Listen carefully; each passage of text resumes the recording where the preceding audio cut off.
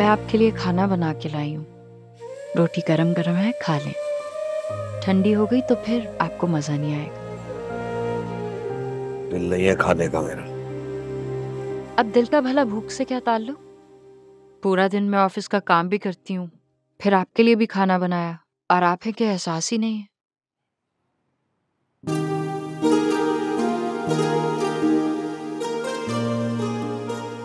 तुम्हारी मोहब्बत में खा लेता हूँ, वरना भूख मर गई है नहीं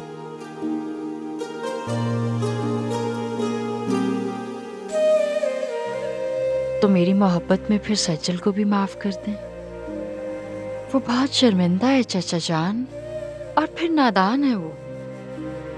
अपनी दोस्तों से वाहवाही करवाने और इज़्ज़त के चक्कर में वो चोरी कर बैठी।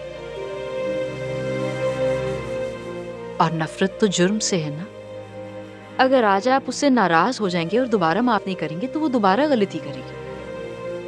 इस वक्त हमें सज्जल को प्यार से समझाना होगा ताकि वो दोबारा ऐसी हरकत नहीं करे।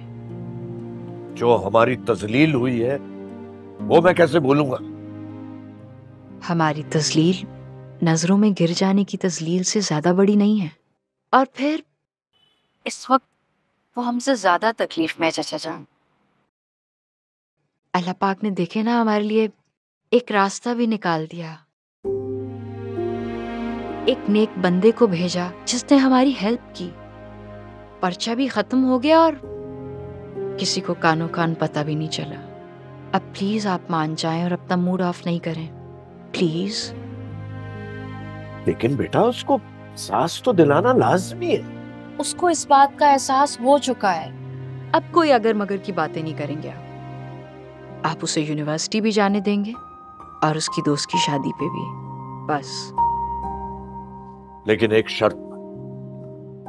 उसकी दोस्त की शादी में तुम उसके साथ जाओ वरना वो नहीं जाएगी। मुझे आपकी शर्त मंजूर है।